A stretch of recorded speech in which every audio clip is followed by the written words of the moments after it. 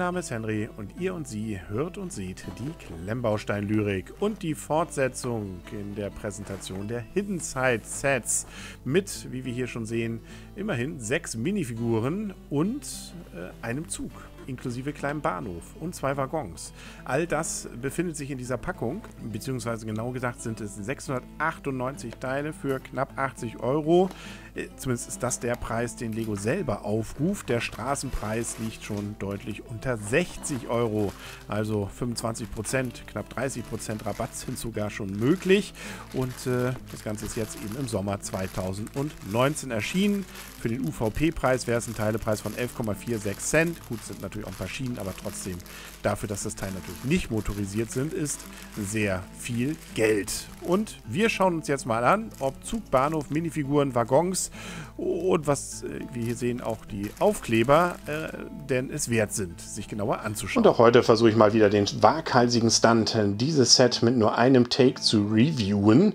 Und äh, dazu nehmen wir die Packung weg und sehen das, was uns dann nach ja, zwei Stunden Bauzeit dann überraschenderweise präsentiert wird. Unter anderem, und das ist tatsächlich ja keine Selbstverständlichkeit in der Lego-Welt, ein Bahnhof, eine Lok und zwei Waggons, seltsame Verbindungsschnüffelstücke und sechs Minifiguren, bei denen es auch ein, zwei Seltsamheiten gibt. Insbesondere eine. Aber da kommen wir gleich zu. Wir fangen ganz traditionell natürlich mit den Minifiguren an und haben hier dann den guten Jack mit seinem Hoodie bzw. im roten Look und ist genau das, ja, was wir in anderen Sets ja auch schon hatten. Also da gibt es wenig Varianz, ab und an mal ein bisschen anderes Gesicht, je nachdem mit welchem Gesicht man und mit welchem Set man es vergleicht. Für sich einzeln betrachtet, wenn es das einzige Set ist, eine klasse Minifigur mit Handy, beziehungsweise natürlich nur mit der Hidden Side App, damit er dann auch die Gespenster fangen, beziehungsweise die Gespenster gewordenen wieder zu Nicht-Gespenster machen kann. Und auch hier haben wir, wenn wir es mal abnehmen, zwei Gesichter. Ja, hat auch schon ein bisschen eine Schramme abgekriegt, darf ein bisschen skeptisch gucken und cool ist natürlich eben vor allem dieses Kopfteil, das aus zwei Elementen und verschiedenen Farben besteht. Ähnlich ähm, häufig wahrscheinlich, und früher ihr Richter hätte gesagt, äh, beziehungsweise nein, bei der, es war, genau, nee, das war, und ähm, hier ist Berlin, 18, 1930, hätte man gesagt, bitte nicht wieder wählen, aber ich befürchte, sie wird uns noch öfter wieder auftauchen. Das ist nämlich die gute äh, Parker. Und ähm, wieder mit ihren lila Haaren, der Mütze und auch mit der Hidden Side App, um die Gespenster in ihre ursprüngliche Form wieder zurückzuverwandeln. Schöne Rückseite. Man sieht, sie scheint Baseball-Fan zu sein. Das war mir sonst gar nicht so aufgefallen. Ist das mal was anderes? Naja, auf jeden Fall ähm, hat sie auch zwei Gesichter, lächelnd und skeptisch. Ängstlich geht bei ihr gar nicht. Ups, das machen wir mal andersrum. Und so, da, genau. So, und äh, damit wir dann die Langeweile auch zu Ende bringen, JB ist auch schon wieder dabei. Den, oder beziehungsweise sie machen wir schnell. Kopfteil mit Brille, mit der App, mit Fan von äh, Frankensteins Monster. Auch hier wieder zwei Gesichter und wieder das. Es ist aber auch jedes Mal, dass sie da irgendwie einen abkriegt, glaube ich, wenn ihr was da explodiert. Aber auch hier hat sie wieder ein kleines Labor dabei. Dann darf das auch. Schade. Ich hätte mir ein bisschen mehr Varianz dann bei den Gesichtern gewünscht. Aber gut, irgendwas ist ja immer.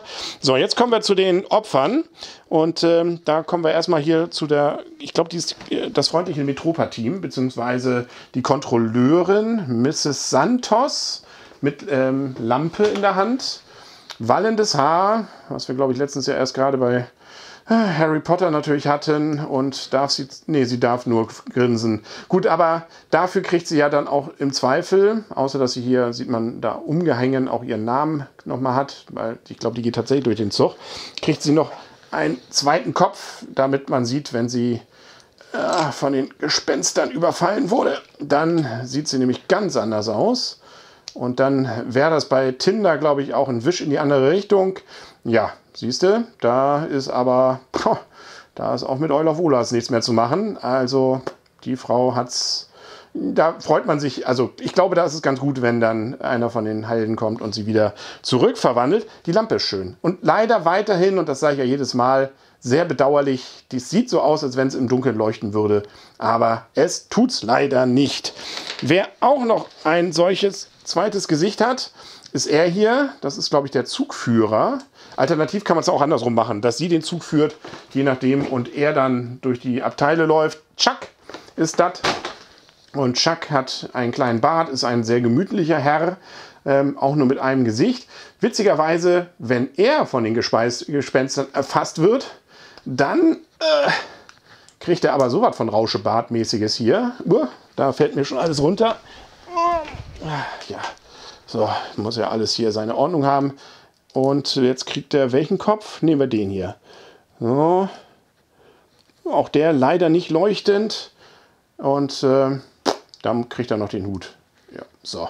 Da sieht, so sieht Chuck aus, wenn er mit Gespenstern, ähm, also mit denen näher Bekanntschaft gemacht hat. Wo der Bart dann herkommt, boah, müssten wir mal Dr. Kling fragen. Da scheint ja wirklich Doping nicht nur für die Haare passiert zu sein. Und schließlich, und der ist eigentlich der seltsamste aus der ganzen Reihe, das ist nämlich, Bademeister hätte ich beinahe gesagt, das ist Paule. Paule heißt er, ist eigentlich eine ganz witzige Figur, weil er hier nämlich ähm, so ein bisschen nerdig da noch die Banane auf dem Shirt hat. Ja, und glaube ich auch nur, nee, kann auch erschrocken gucken. Aber der wird in der Beschreibung des Sets auf der offiziellen Lego-Seite gar nicht erwähnt. Das finde ich so witzig. Den gibt es gar nicht. Das ist ein Gespenst sozusagen, nur sieht nicht so aus oder so. Also welche Rolle Paul hier spielt, der einfach Passant oder so, zufällig im Zug sitzenden, ich habe keine Ahnung. Aber ja, so ist Paul. Ne? Herzlich willkommen, Paul, hier bei uns im Kreise. Und dann schauen wir mal, was wir hier so haben. Wir haben schon mal, das ist ja schon mal gut. Also, das ist ja Leiden auf gewissem Niveau, das ja nicht bei jedem Eisenbahnset in letzter Zeit, ich rede nur vom Hogwarts Express, äh, tatsächlich auch äh, Schienen dabei waren. Hier sind Schienen dabei. Also schon mal Haken hinter. Und dann, das ist neu, hier eine Auffahrhilfe. Das heißt, wenn das hinten hängt, kann man mit dem Zug hier rauffahren und dann wird der Zug automatisch eingefädelt. Nun war es bisher auch nie so das Riesenproblem, diese Züge irgendwie auf die Schienen zu bringen, weil das ja doch eher gröberes Material ist. Aber, ja, ähm, gut, es, es, es, schadet ja auch nicht, äh, würde ich mal sagen. Wir hängen es mal wieder dran und hier, ne, also da sieht man es einfach rauffahren. Ja, ist auch kein Garant, merke ich gerade. So, doch, geht relativ einfach. Und dann haben wir vorne ein Schienenelement, das ein Prellbock hat, mit auch so einem Haken. Und daran sehen wir schon, hier ist eine etwas andere Kupplung, als es sonst bei den Sets so drin ist. Eigentlich ein netter Prell Prellbock hier. Ähm, aber da können wir die Lok anschließen gleich weil leider die Waggons bis auf den letzten ganz hinten nicht die Magnetkupplung haben, sondern so eine mechanische, die aber auch ziemliche Fummelarbeit ist. Also so schön sie das Einfädeln hier hoch gemacht haben, so blöd ist es eigentlich, äh, die Waggons dann irgendwie miteinander zu verbinden. Naja, gut. Aber Prellbock. Ansonsten äh, fangen wir vielleicht erstmal mit dem Bahnhof an. So, nehmen wir den hier mal ab. So, wir sehen hier, wir sind hier in Newbury Station. Schön auch wieder hier mit Aufkleber natürlich alles. Wir sahen es vorhin beim Auspacken die unter anderem zeigen, dass hier die Scheiben auch nicht mehr die beste Zeit sind. Es wird recycelt, immerhin. Wir haben zwei Sitze. Es ist quasi eigentlich der schönste Bahnhof der letzten Zeit. Ähm, nein, also gut, wir hatten natürlich den winterlichen, aber ähm, eigentlich einer der, neben dem Disney-Zug ist der einzige Bahnhof, glaube ich, den wir gerade haben. Naja, ähm, gut, aber wir haben sogar eine Tür, die sich öffnen lässt. Hier leider alles sehr noppig. Eine schöne Treppe, die hochführt. Unten eher etwas langweilig. Hinten ein Fahrkartenautomat. Und äh, da sehen wir, da ist irgendwas. Und das ist eigentlich der Gag an dem Ganzen hier. Nämlich, wir können auch diesen Bahnhof besessen werden lassen. Und zwar kippen wir dann das hier. Da sehen wir schon, das Gesicht ist cool geworden. Und wir kippen hier an der Lampe und an der Uhr. Und schon greift das Gespenst von hinten rüber. Hat hier auch gleich noch so ein paar Aufkleber dazu. Und das sieht aus. Also ich finde, das hat was. Also im Rahmen der Geschichte für einen normalen Standardzugbahnhof natürlich irgendwie nicht sinnvoll. Aber für die Geschichte eines äh, Gespensterbahnhofes finde ich das eigentlich eine ganz coole Idee. Also dieser Effekt mit diesen ja, wirklich äh, sehr äh, spannenden Augen und den Zähnen finde ich sehr gut gelungen. Also der Bahnhof mit diesem Variante gefällt mir sehr gut. Dann fangen wir an jetzt mit der Lok. Natürlich nicht motorisiert. Also jetzt hören wir auf zu träumen. Also da ist leider nichts, was irgendwie ginge. Natürlich kann man es im Nachhinein irgendwie versuchen, da reinzubergen. Und auch das finde ich sehr bedauerlich. Wenn man schon Züge hat und eigentlich relativ einfach mit Motorisierungen arbeiten könnte, ist es leider wieder bei Lego so wie beim Hogwarts Express. Man ist da auf eigenes Experimentieren angewiesen. Ist nicht so, dass es irgendwo in der Anleitung beschrieben ist oder dass man da einen Hinweis bekäme und ähm, dann ist, eigentlich geht Lego doch da auch was flöten. Also man würde doch dann vielleicht dieses Zusatzpack viel leichter mal kaufen, wenn man wüsste, wie dann das machen muss. Na gut, ähm, eigentlich will Lego natürlich, dass man kreativ wird. Ja gut, it's not a bug, it's a feature. gut, also hier oben haben wir schon mal zwei Tröten, die nicht tröten. Wir haben einen schönen Zug von vorne. Ich finde, hier ist diese Kupplung. Also die können wir, und das ist tatsächlich so ein bisschen Formelarbeit, die können wir jetzt hier reindrücken theoretisch. Dann hält er auch, selbst wenn es ein bisschen abschüssig wäre. Ähm, ja, ansonsten ist es eher so ein äh, typischer amerikanischer Güterzug, relativ schön massiv. Türen, auch das äh, eine ungewöhnliche Geschichte heutzutage bei Lego. Die haben ja halt selten Türen noch gehabt in letzter Zeit, die Züge. Hier mit der 30877 kann ich jetzt nicht genau sagen, was diese Zahl eigentlich soll. Ist wahrscheinlich irgendein Insider. Und äh, ja, beide Seitentüren. Boah, dass wir das noch erleben dürfen. Alles Aufkleber natürlich übrigens hier. Ähm, schöne vordere Seite. Auch hier die äh, Fenster wieder so ein bisschen demoliert. Ähm, hinten recht massiv. Also um nicht zu sagen, hinten ist er keine Schönheit. Das ist bleh. Also das ist irgendwie so äh, das, das, als abgeschnitten und nicht gewollt. Also das ist schade. Hm.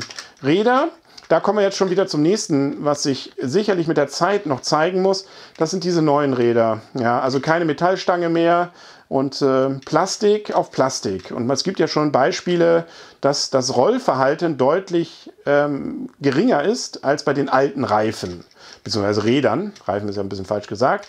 Bei den Rädern. Äh, ob sich das in der Realität dann so widerspiegelt, ja, erst recht, wenn die Motorisierung dann dabei ist, ob die Batterie dann nicht so lange hält oder dann doch ein bisschen langsamer ist oder nicht mehr Berge oder zumindest Anhöhen ein bisschen einfacher hochkommt. Das muss man alles ausprobieren. Es ist auf jeden Fall ein Rückschritt. Also die Metallteile waren deutlich ja, besser. Aber ob es das im Spielverlauf nachher wirklich zeigt, das muss ich erst noch beweisen. So, jetzt wollen wir aber natürlich ein bisschen auch noch anderes beweisen. Zum Beispiel, dass man hier reingucken kann. Da sehen wir die Steuerelemente. Ja, also hier so ein kleiner Joystick und äh, ein paar Anzeigen. Ähm, da können wir dann den Zugführer oder die Zugführerin, je nachdem wie man es will, reinsetzen. Und hier haben wir noch Schalter. So, was passiert da jetzt? Erstmal, natürlich, der Zug kann auch besessen werden. Wenn wir jetzt hier drehen, dann fährt vorne die Schnauze hoch. Ja, auch ganz netter Effekt. Und wenn wir jetzt hier drücken, Achtung, bitte festhalten, schwache Gemüter bitte abschalten jetzt. Zack. Ach, Flügel. Ja, Siehst du? Da wäre aber äh, Doc Brown stolz auf das Teil. Hm. Also hier, ne, da sehen wir, da ist ein richtiger klein bisschen Technik hinter, also Lego-Technik, dass das hier dann aufgeht. Also man sieht es gar nicht unbedingt, dass das hier tatsächlich zu ist, sondern zack, wenn man es aufmacht, dann fahren die Dinge einfach raus und das funktioniert erstaunlich gut. Hier sieht man es, ne? also klackt auch schön, hat einen satten Sound. Das gefällt mir. Also ja, ansonsten ja, also hier kann man sonst nichts mehr, glaube ich, öffnen. Vorne habe ich gezeigt. Ja, also das dazu. Ähm, so, können wir da noch irgendwas reingucken? Theoretisch wäre da jetzt noch ein bisschen Platz frei. Ja, können wir da was aufmachen hier? Nee, alles gut. Zack, machen wir wieder zu und gehen zum nächsten Gefährt, beziehungsweise den beiden weiteren Waggons. Da haben wir einmal, jetzt zeige ich auch noch mal die Verbindung. Da sehen wir es, so hält das dann. Wenn man es jetzt abmachen will, muss man ein bisschen grobe Gewalt nehmen. Da haben wir das Labor, was hinten drauf ist. Ähm, die, das können wir so ein bisschen abnehmen. Hier sehen wir so eine Sollbruchstelle. Also das ist wie so ein Container, der da drauf gesetzt ist. Da könnten wir jetzt einen reinsetzen, um Untersuchungen wahrscheinlich zu machen oder ihn wahrscheinlich dann auch wieder zu befreien. Können wir zumachen. Und hier haben wir so ein paar Anzeigen, Aufkleber natürlich. Sind die gleichen, wie wir sie bei anderen Sets auch schon. Also die hier hatten wir, habe ich schon mal gesehen. Die hier noch nicht Alarm, nie ein gutes Zeichen. Und hier natürlich, es darf kein Labor ohne einen großen Drehknopf dann dabei sein. Und hier sehen wir auch, natürlich, Hittenside funktioniert ja nur über diese ja, farbigen Rundelemente. Und hier haben wir es also hier versteckt auch dezenter deutlich, als es jetzt bei dem Krabbenkutter der Fall war, beziehungsweise Garnelenkutter. Aber ja, ist okay. Ja. Hm. Und schließlich und endlich noch als letztes dieser Container. Da haben wir oben hier noch so eine Kanone, äh, die dann dafür da ist, natürlich, ja, unsere Gespenster irgendwie wieder einzufangen. Können wir ja auch abnehmen. Kann man die irgendwie biegen? Nee, kann man nicht. Äh, hier ist leider sonst, also man kann sie drehen. Das ist alles hier. Und äh, ja, schöne Kanone eben. Können wir auch wieder hier abmachen. Und dann auch nur, so wenn sie drauf ist, kann man sie nämlich nicht öffnen, hier die Türen. Wenn wir es abnehmen, dann können wir auch die Türen öffnen. Und dann können wir da reingucken und sehen, wie Sie sehen, sehen Sie nichts. Hohlraum, da können wir wohl auch die Gespenster dann, wenn wir sie gefangen haben, zum Beispiel drin lagern. Hier wieder ein paar Kleckse als Aufkleber, da noch ein anderer. Ja, leider wieder nicht leuchtend. Ich sag's ja. Nicht? Also, das wäre zumindest schon mal ein bisschen was gewesen. Jetzt wollte ich noch mal zeigen, wie man hier hochfährt. Zack, läuft. So, ja, das waren im Prinzip schon mal die Elemente. Dann können wir schließlich noch mal einen Blick in die App werfen, was da passiert. Man sehen, jetzt habe ich es natürlich hier alles durcheinander gebracht, aber normalerweise ist die App da ja nicht wirklich äh, etwas äh, besonders wählerisch. Eins wollte ich noch zeigen, übrigens, dieser Waggon hat hinten leider nur der und auch nur an der einen Stelle, jetzt sieht man es fast nicht, doch, hier, da ist der Magnet. Also einer ist da, wenn man so weitere von den Ursprungs- oder zum Beispiel jetzt auch vom Disney-Zug daran hängen möchte, dann ginge das. Also einen haben wir davon immerhin. Der Rest ist eben über diese, warum man die nicht, also es ist wahrscheinlich wieder Kostenfrage. Und da haben wir wieder ein paar Cent gespart, obwohl das Set ja eigentlich im Ursprung gar nicht billig ist. Ähm, warum man das hier vorne nicht auch noch gemacht hat, ah, schade. Also das äh, hätte das Ganze, glaube ich, durchaus nochmal aufgewertet. Dass nur das hier ist, hm, ja, also wenn ich die noch, also wenn man mal ein Interview führen kann, werde ich das mal fragen nochmal. So, jetzt ähm, wollen wir natürlich an die App gehen. So, ich habe da schon mal was vorbereitet. Das alte Kochstudio-Motto. Wir machen natürlich auch Ton an. Im Zweifel wird jetzt Mutti anrufen gerade, aber das drücken wir dann natürlich weg. So, wir wollen Jäger sein und wir wollen den Zug öffnen. So, hören wir hier was? Ja, wie wir hören, hören wir. Wir wollen spielen. Natürlich haben wir es gebaut. Ich bin sowas von bereit. Ach, der Hund ist diesmal gar nicht dabei, merke ich. Ha, siehst du? Komisch. Fällt mir jetzt erst auf. Übrigens, der Oberbonze hier, der Obermotz, den man hier noch besiegen kann, jetzt in der App, das ist der hier, The Bava. Baver, was auch immer. Aber der Hund nicht. Witzig. Ich habe den so schon lieb gewonnen. Dachte er wirklich in jedem Set dabei. Gut. So. Okay. Ähm, ja, alles gut. Geschafft. So. Jetzt, wie muss ich den halten? Zug. Ha. Ist immer ganz einfach schon, dass das gehalten wird. Und da sehen wir schon, wie der Zug rollt. Und da kommen die Geschwänster. Wir können ein bisschen hier runter gehen. Ich weiß gar nicht, ob ich das jetzt nochmal wieder hier alles zeigen soll. Also, das ist im Prinzip wieder das gleiche Prinzip. Wir erfahren so ein ganz bisschen, dass wir Glu-Glu sammeln müssen hier. Gloom geschafft. So, jetzt haben wir den hier schon auf eine Farbe gedreht. Blau. Selbst auf die Entfernung kriegt er das hin. Das ist kein Gelb. Ach, er will erst, diesmal will er mal eine, eine Farbe zuerst haben. Okay, dann drehen wir es mal auf Gelb. Scannen das. Ja, jetzt hat er es auch geschafft. Jetzt müssen wir hier suchen. Da haben wir ihn schon. Ja, alles gefunden.